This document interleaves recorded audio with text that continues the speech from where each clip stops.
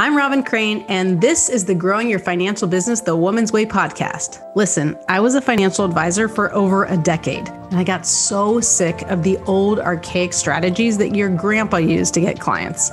What the industry teaches today is still so outdated and just doesn't work anymore. So I had to find a better way for myself, and then I got obsessed with sharing these how to's with other women like me. The stuff I teach doesn't require giving up your life, your sanity, or your family time. I want women like you to have it easier than I had it so you can thrive in the industry. I've now helped thousands of women grow their financial businesses to multiple six figures, some even seven figures per year. So, on this podcast, you're going to get an inside look at how they did it so you can do it too. Let's dive into the show. Welcome, welcome. I'm here with Deborah Smith, and we've been chatting before recording. Um, but I'm excited to talk to Deborah because she's a baller. Can I call you a baller? I mean, super successful and thinks like, what? Of course, like I would just naturally get these results or some somehow just magically. So we want to know her story. Um, but she is the co-founder and CEO of the Center Cap Group LLC, heads the firm's strategic capital and M&A and execution efforts. Prior to forming the Center Cap Group, um, she uh, co-headed the. I'm trying to read this here. M&A, a co-head of M&A and a senior managing director of CB Richard Ellis Investors with 40 billion AUM. 40 billion. That's a B. That's a B billion. Okay, this is like there's so much stuff here, but I just want to give you the the, the, the big things. Um, she also worked on mergers and acquisitions with Lehman Brothers, Wachovia Securities, Morgan Stanley. Uh, Deborah has been involved in more than 100 billion dollars of mergers, acquisitions, and restructuring. Like, can you can you even fathom this? Um, she's also from Australia, so we'll get the the exciting accent, but billions like that's a lot of money girl like that's a lot of money so yeah tell us let's start with your background because you were about to tell me and i'm like don't no let's save for the podcast because i want to be surprised but kind of how you came about these opportunities and where you are now sure so i moved to the united states about 20 years ago from australia and I grew up in the country in a rural community on a dairy farm, no less. And um, my parents didn't go to high school. My brothers didn't go to college. In fact, my brothers didn't finish high school. Um, and so I'm a bit of an odd duck um, when it comes to them. And and I think you know I'm I'm one of those people that didn't have the parent that guided them where they're supposed to go in life, and I've kind of fallen into it. And I think now I look back on time, and I, I don't know how I got here, but here I am. Um, so I started Morgan Stanley in Australia. I got a double degree there, one in economics, one in law. And then I moved with Morgan Stanley to the US and was on loaner and never left. And so I've been here ever since. And I've moved around a couple of firms, a few firms. I've had four kids along the way. I've got a husband as well and a great business partners. And we set up our own shop as a boutique investment bank focused only on the real estate space 13 years ago. 13 years ago at this point. So, which brings me here I am today. That's crazy. So it sounds like you were just like super smart though. Like not everybody is like that smart. You had a, a double degree in what did you say, law and yeah, economics. Yeah, and economics. Like yeah, I mm-hmm. hardly know what economics means, and I definitely could not go anywhere into law. I've often reflected on as I've gotten older what the trigger was because as a tenth grader, I wasn't even going to college. I mean, college was just not something that you do. And it wasn't as a priority. It wasn't even something I thought about. It wasn't like, do I want to go or not go? It wasn't even on the radar. It's that's not the way things get done. And so I just happened to move to a school um, and I got a teacher, my economics teacher actually, who actually thought I wasn't too stupid. And and so I with some, I think a lot of hard work because uh, that's where you come from as dairy farmers. Is the one thing I've gotten from it is you work hard you're very persistent, you have a lot of patience, you start at 5 a.m. in the morning and you're well into the afternoon, and everyone has jobs and responsibilities from a very young age. And, and so I think I've carried that as I've gotten older. And when I buckled down as an 11th grader, um, moving forward with my schoolwork and having a great teacher, suggested to me I should think about going to university.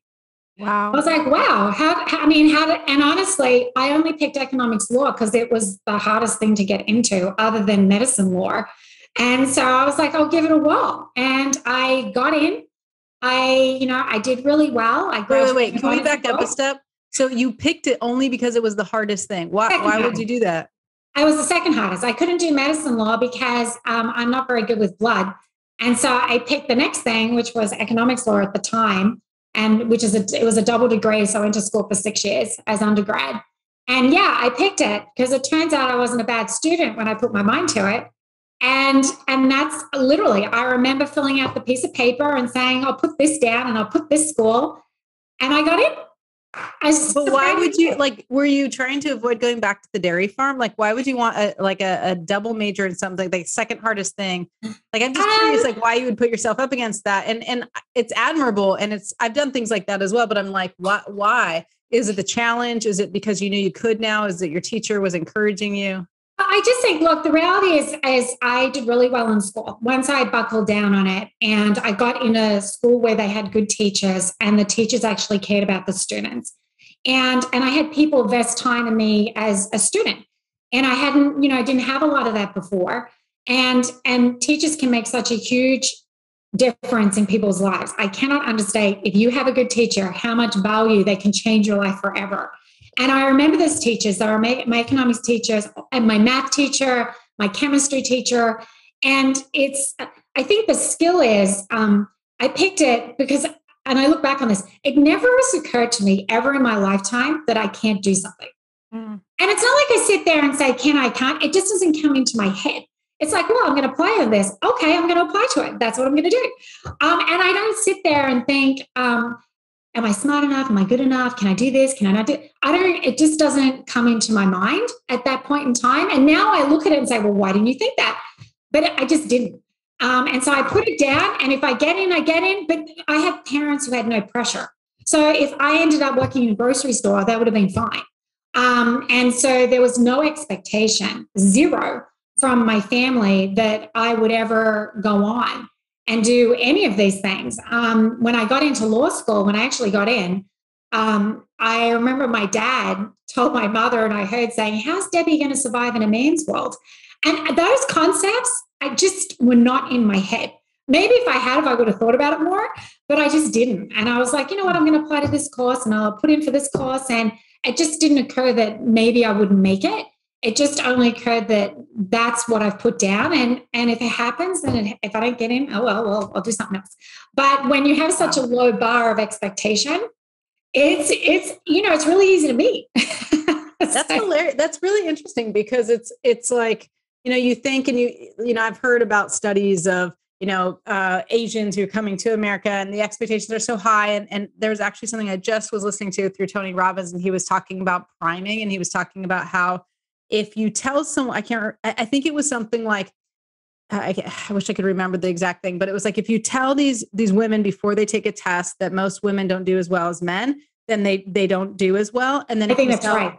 And if it's like Asian, you know, like they said, Asian um, uh, Americans or whatever, they or they come here or something, and he was saying that the expectation is that they're going to perform well in math and science and stuff, and then they do because like this priming, this expectation that's set in front of them, and it's really interesting that you're saying the opposite. Like there was like this low expectation, this low bar. And then what you're telling me right now is like the difference between like you succeeding and not succeeding, or the, the reason why you're succeeding more than let's just probably say 90, 99% of the world, or at least women in the world, let's say if we're comparing it, it's because women unfortunately don't have as many opportunities, but it's like, like because you didn't think you could fail, like you didn't care about failing, you were unattached to the result and your mindset, like it's all mindset. Like you're just like, okay, what, what, what, what what could happen? Like what's the what's the worst that can happen? And i think most of us are going through every single day as a woman going like i'm going to be judged. I'm not going to be accepted. I'm not going to be loved. I'm not going to belong. Not those words but that's what we're thinking is that i'm not enough. Like all the things you said i'm not smart enough. I'm not good enough. I'm i'm you know I, i'm not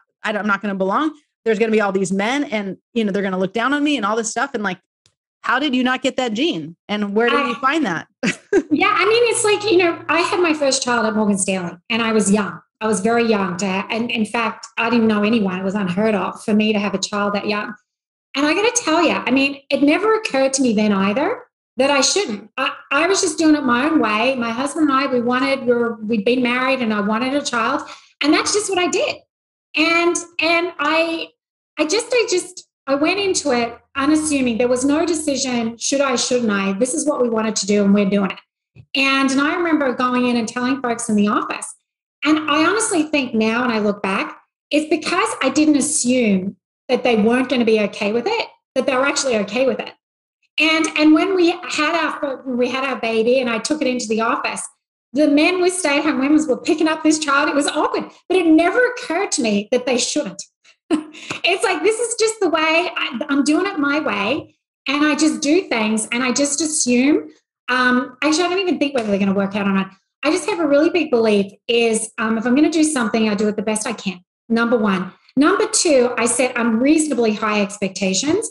But if I don't get them, and this is what I tell all my kids, aim high, but if you don't reach it, you can't beat yourself up over it. You, you have to cut yourself some slack, right? Because that's the whole point of setting high expectations is to reach beyond your level, right? But if you can't, this is where I think women go sideways all the time, is if they set an expectation, they worry and spend too much time thinking about whether I can do it, can I can't do it, all the things that can go wrong. And if this happens, that who cares? Just just do it. And if it goes wrong, trust your instincts, you'll figure it out because you will. It's mm-hmm. it's women I find have amazing intuition. It's amazing, so much better than guys. And we never we don't listen to it. Well, I listen to it, but most people don't listen to it. And when your tummy gut, which is really internal judgment, says give it a whirl, you should give it a whirl. And if it doesn't work out, okay, so what?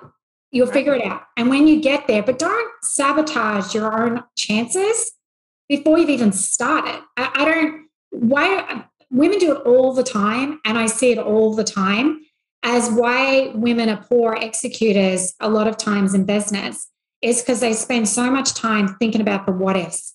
Stop thinking about the what ifs and just do it. That's what so I say. Good. It's so good. I feel like you you naturally just had that like and I have some to some degree of that but I'm fighting it a lot more than you. Like where I'm I've done personal development and I've worked on myself to be like stop listening to that voice. And then I do feel like I have really good intuition. When I follow my intuition I get what I want. And then I at this stage like after having uh you know two babies and one was IVF and one I feel like we completely manifested after because we were like, you know, two years later, basically like just I, I, was like, this is what I want. I could just manifest it instead of like having to do that. I mean, it's a little bit longer story than that, but basically, but I've had to keep silencing that that voice that's like, you can't do this, it's not gonna work, all these things. And and even like sometimes daily, like I have that battle of like uh and I don't think it's as as obvious as you're not good enough. It shows up in different ways, but it's and it's not necessarily a a very clear feeling of of I don't know not not not having the confidence or something but it's it's almost but there's a fear. I think there's just like this fear. Yeah. And and like that that's definitely with me some sort of fear like like right now i have a, a, pretty big team and it's like i know we we will probably do well this year and we're doing you know we're doing fine and stuff but it's like you keep adding to the team you keep growing your expenses you keep taking yourself to a next level and then there's more and more pressure and more and more pressure and more and more pressure and it, it's happening differently this year than it did before for me that like the more people i get on my team and the more we grow it's like the more pressure i feel and a little bit more yeah. fear because i have all these other people relying on me because it's different like if i fail now i have to like lay off people you know before if i failed like i just i have to figure it out and i can always yeah. figure it out but i think that's there's layers of it. But I, I, agree with you that a lot of the women who aren't successful, who could be successful, um, and I say this, I have this five day challenge, and I say like, what would you be? Who would you be? Where would you be if you didn't have this fear of judgment? Right. Because it's mostly this fear of judgment, and like it seems it like is. you just didn't get that gene, and like we we got to like remove it because if we didn't have that fear of judgment, it, you think like a guy. Yeah, maybe. I mean, I think there's some degree of fear of judgment, but yeah, there'd be a lot more advantages like a guy. Yeah. That's right. You think like a guy. And I, I have this joke with one of my business partners all the time. It's, you know, how do women survive investment banking when there's so few women? At the C suite level where we are now, um, I don't know where they all went. I mean, I started in a class, maybe it was 20% women, maybe. But somewhere along the line, we look now, we look around, we go, where did everybody go?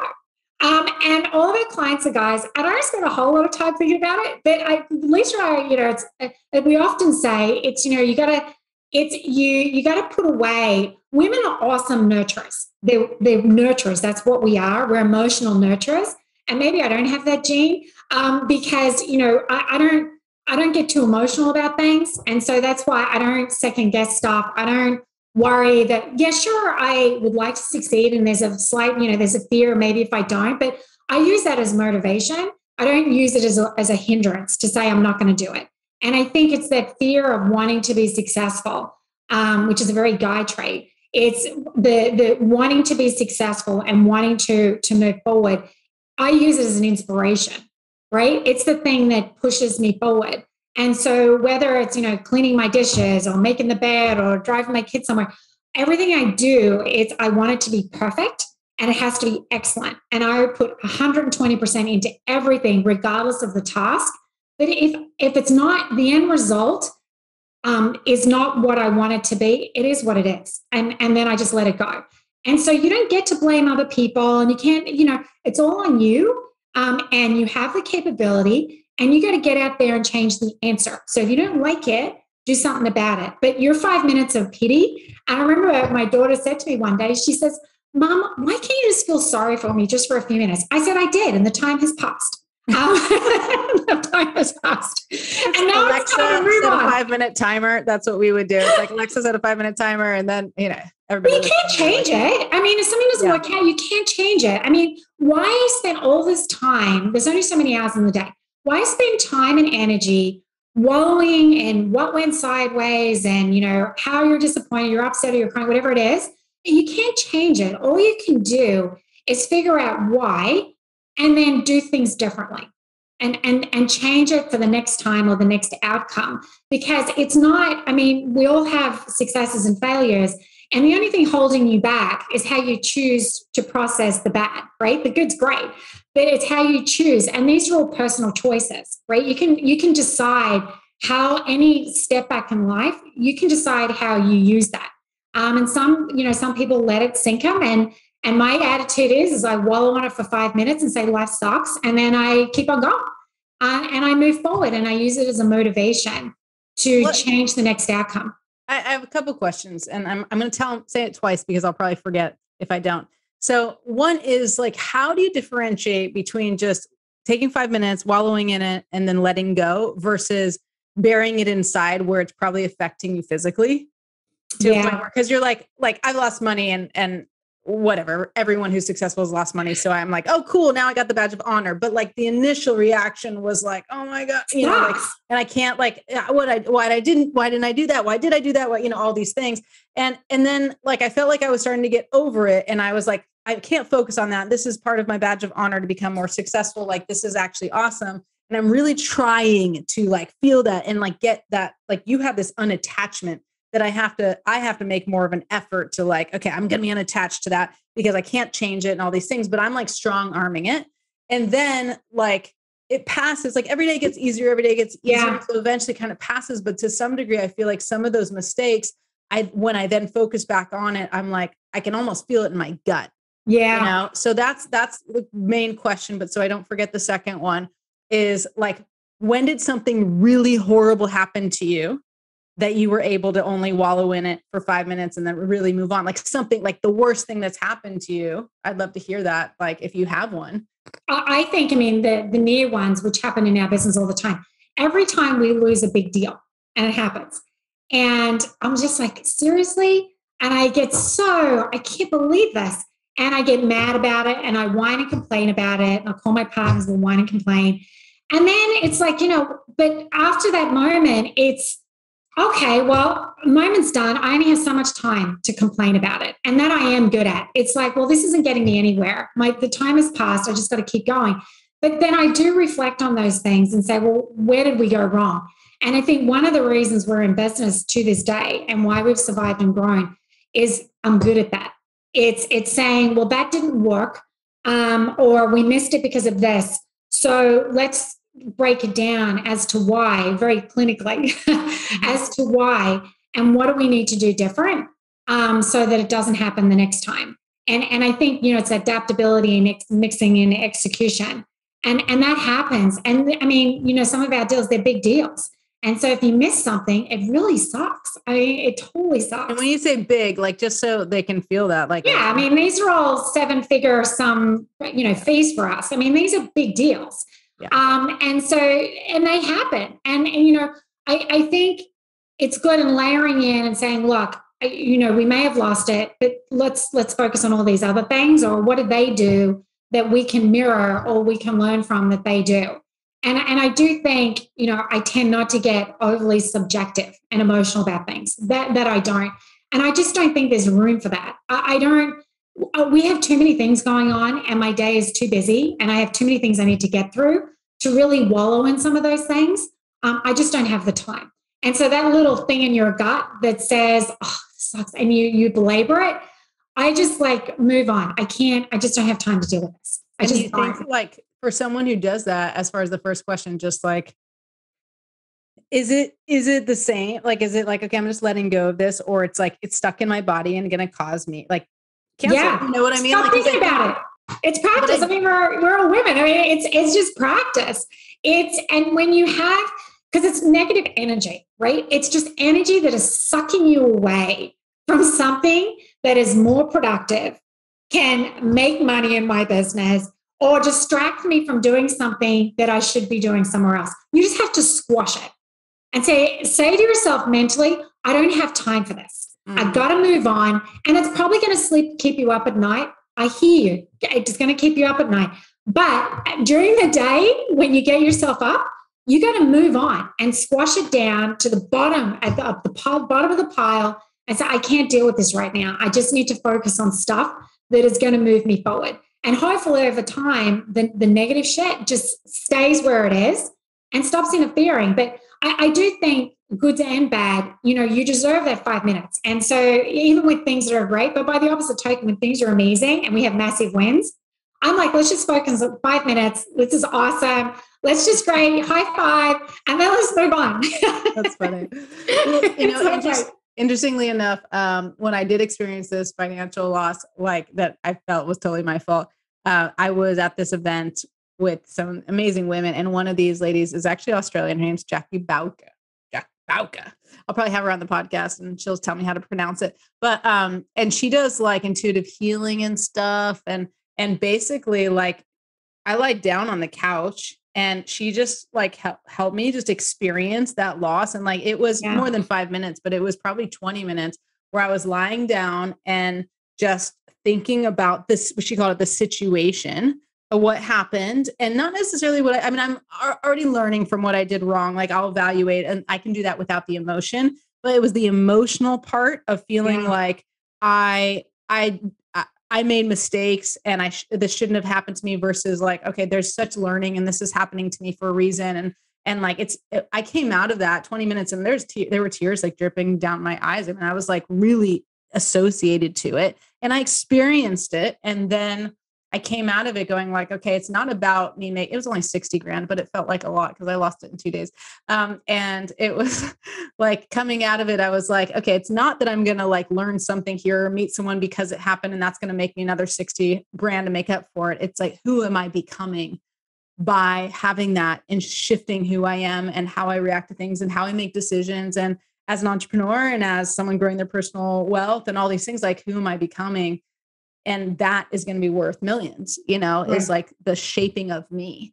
And yeah. so i came out of that actually like i don't now i'm not i'm thinking about it now i'm talking about it now i'm not crying it's like i'm not like associated to it. And i think actually it'd be hard for me to go back to that place where i was really upset about it because i did decide to move on very intentionally. And i think like if we could do that every day like you like i'm really noticing the difference between you as a successful entrepreneur successful woman with four kids and all these things and and a lot of women let's say even in my programs who are striving to make that whatever maybe it's only 100 grand maybe it's a million but they're striving to do that and it's all mindset i can teach them all the strategy but i got to yeah. work on their mindset like all day long because it's constantly those beliefs that are opposite of yours yeah. that are like i can't get over it i'm not good enough i'm like who am i to be doing this i don't you know I, I i'm broke and i'm a financial advisor or whatever it is and like this constant negative thoughts that they're battling yeah. up against that they have to defend against that are actually causing more negativity or more lack or, or the lack of success.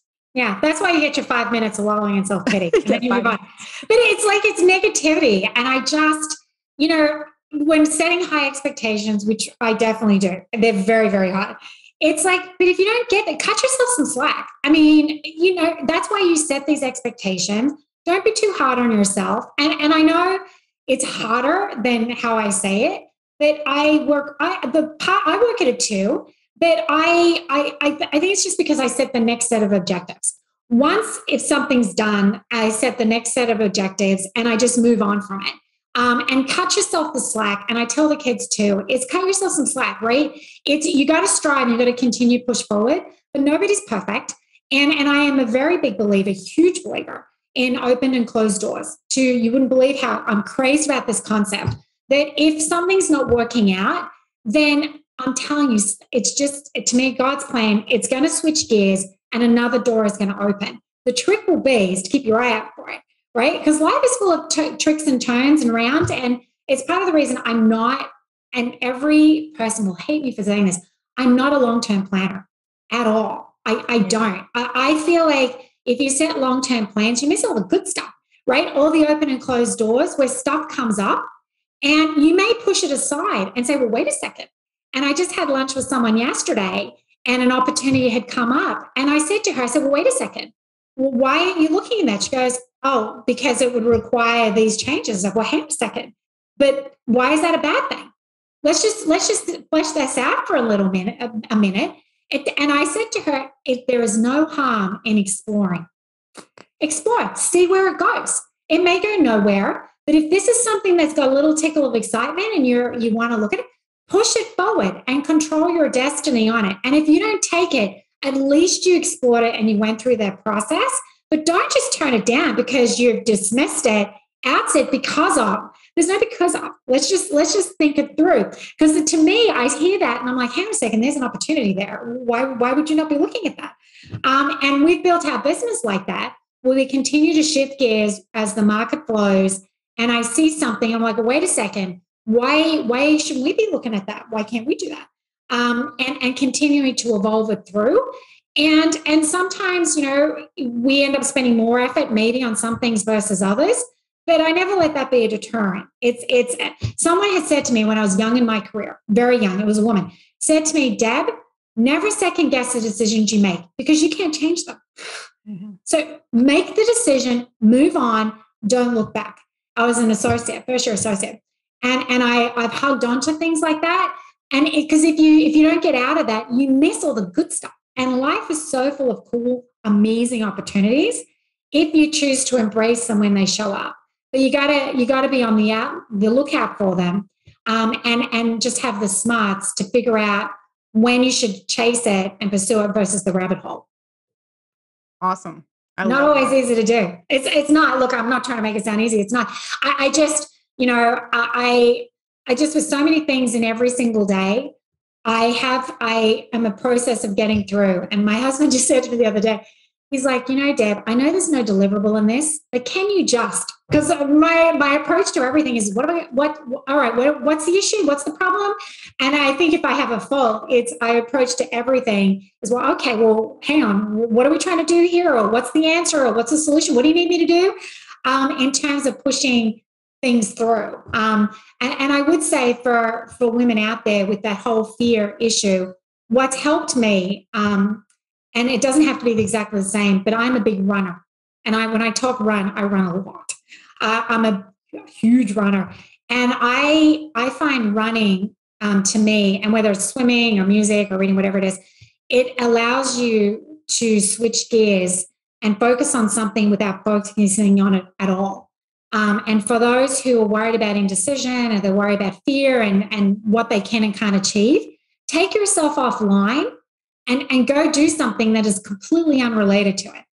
Um, and give your brain a rest because I find if whenever I allow my brain to take a break like that, particularly when I'm running, I have come up with so many amazing solutions solutions to deal negotiations, coming up with compromises, new pitch ideas, everything, new business ideas, I have come up with running, foot on the pavement. And it just comes to me when I'm thinking of absolutely nothing at all. Just listen to some good old fashioned country music. Nice. Awesome.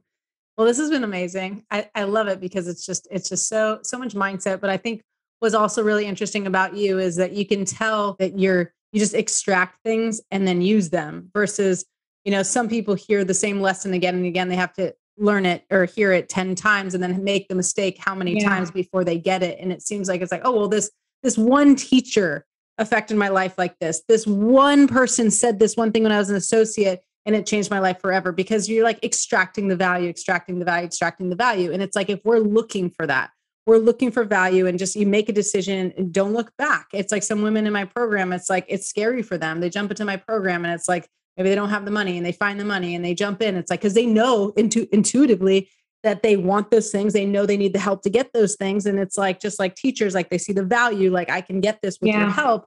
And then the only reason they're not getting it as fast or not getting to where they want to be is because of that fear. Or, oh, maybe I shouldn't have yeah. done this. Or like looking back, it's like trust your intuition yes. and go with it and then follow yes. through. Follow yes. through. So yes, we're drinking the same Kool-Aid. Thanks, Deborah. I appreciate it. I love it. Um, anywhere i mean i don't know if they is there somewhere to follow you i mean i don't know if you're putting up a, bunch of social media if the, or someone else wants you on podcast what's the best way way to find you uh, so you can get me on linkedin deborah smith Cup. i should pop right up we the company has a web has also has linkedin under the Cup group and we have a website and that's the extent of our, our social media presence. Like I said, there's only so many hours in the day. Right, right. only so much you can do. So, you know, we pick our things and then we're, we're all in on them. Uh, and that's the, the easiest way. Obviously, on our website, there's my phone number and email. I have I take lots of calls, and anytime anybody has a question, I'm always open. If I can help someone get through things, and I'm always around. Wow, that is quite generous of you, and I'll be the first one to call. Um, so no, we can have lunch. yeah, we can have lunch. We live near each other. That's awesome. Uh, well, thank you so much. And thank you all for listening. We'll see you next time on Growing Your Financial Business the Woman's Way. Bye. I actually have the link for the tag challenge, the appointment generator challenge. So instead, you can just go to femalefinancialadvisors.com and register right now so that you can get five quality appointments in just five days. Now, this is not around, you know, you having to talk to friends and family and get all awkward. This is not about you having to spend marketing dollars online or create a whole funnel. This is going to be easy. It's simple. It happens in five days. If I can get you five quality appointments in five days, then you know that you can have the best year of your life because you just need to get in front of more of the right people. We will walk through it together as we do it. So do not miss this. And if you can if you're smart do vip spend a few extra bucks and you can actually spend time with me on zoom where i can connect with you get to know you and really help you get those quality appointments so that you can grow your business. And um, go ahead again register at femalefinancialadvisors.com you'll find it all there. It's happening coming up very very soon so make sure to register claim your spot get in on this get excited about it block your calendar because you need to spend about an hour to an hour and a half uh, a day with me on the Thursday, Friday, Monday, Tuesday, Wednesday, so that you can get these results. And it does work. The most appointments I think we got in those five days, uh, someone I think it was Dana got 33 appointments. So you can be my best student and go well beyond the five quality appointments. Go to 10, go to 15, go to 20, and set your, yourself up for the best year ever. Can't wait to see you at the Tag Challenge. See you there. Thank you again for listening to Growing Your Financial Business the Woman's Way.